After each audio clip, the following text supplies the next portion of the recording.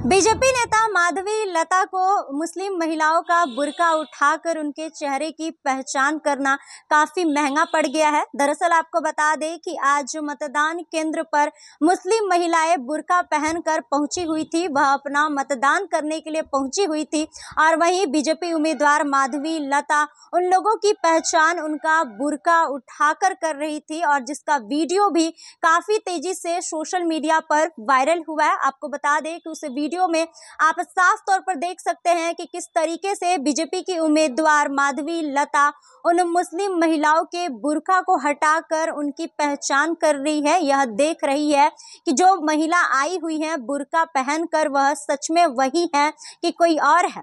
और वहीं अब इसके बाद उन पर केस दर्ज हुआ है। और वहीं आपको बता दें कि बीते दिनों बीजेपी के फायर ब्रांड नेता गिरिराज सिंह ने भी मुस्लिम महिलाओं को लेकर टिप्पणी की थी। उनका साफ़ तौर पर कहना था कि वह लोग मतदान केंद्र पर पहुंचकर बुरका पहनकर गड़बड़ी कर रही है जिसको लेकर उन्होंने चुनाव आयोग से इसकी शिकायत करवाई थी और वहीं अब बीजेपी उम्मीदवार माधवी लता ने भी जो काम किया है, उसको लेकर उन पर केस दर्ज हुआ है। वह मतदान केंद्र पर पहुँची। मुस्लिम महिलाओं का बुरका उठाकर वह जाँच कर रही थी कि जो महिला आई हुई है, सच में वही महिला है या फिर कोई और महिला है जो मतदान करने के लिए आई हुई है?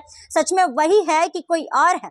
बाकी सब कुछ आपको इस वीडियो में विस्तार से बताते हैं। तो वीडियो को अंत तक ज़रूर देखें। तेलंगाना की हैदराबाद सीट से ओवैसी के खिलाफ चुनाव लड़ रही बीजेपी उम्मीदवार माधवी लता को वोट देने पहुँची मुस्लिम महिला का बुरका उठाकर उसका चेहरा देखना काफ़ी महँगा पड़ गया है। दरअसल बीजेपी उम्मीदवार के खिलाफ विभिन्न धाराओं के तहत मालकपेट थाने में केस दर्ज कराया गया है। माधवी लता का एक वीडियो सोशल मीडिया पर बड़े ही तेज़ी से वायरल हो रहा है, जिसमें वह मुस्लिम महिलाओं के पहचान पहचान पत्र की जाँच कर रही है। इस वायरल वीडियो में साफ़ तौर पर देखा जा सकता है कि बीजेपी उम्मीदवार वोट देने आई। महिला मतदाताओं से उनका बुरका हटवाकर उनके चेहरे का मिलान पहचान पत्र से कर रही है।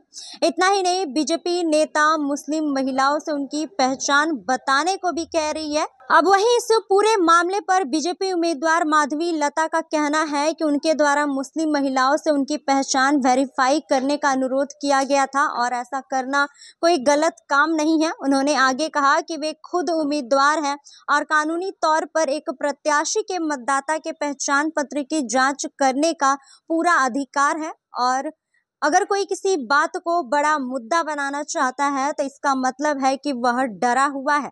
बता दें कि चौथे चरण में देश के दस राज्यों की छियानवे सीटों के लिए वोटिंग हो रही है, जिसमें हैदराबाद की सीट भी शामिल है।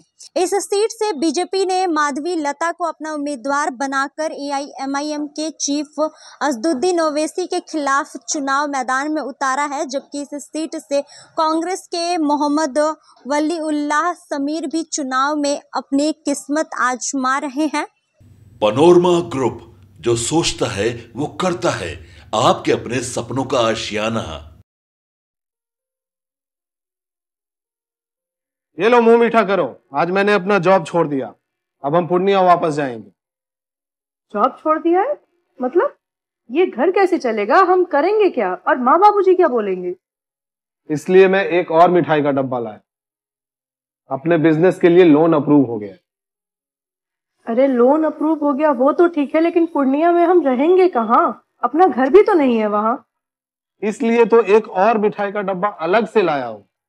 हमने पूर्णिया में घर ले लिया है। पूर्णिया के ई होम्स पैनोरमा में। पूर्णिया में पैनोरमा ग्रुप लेकर आए हैं। ई होम्स पैनोरमा बड़ा घर आलीशान ज़िंदगी और अत्याधुनिक सुविधाओं के संग। अरे अरे अब क्यों मुँह मीठा करवा रही हो? क्योंकि हम घर वापसी जो कर रहे हैं। घर वापसी की खुशी।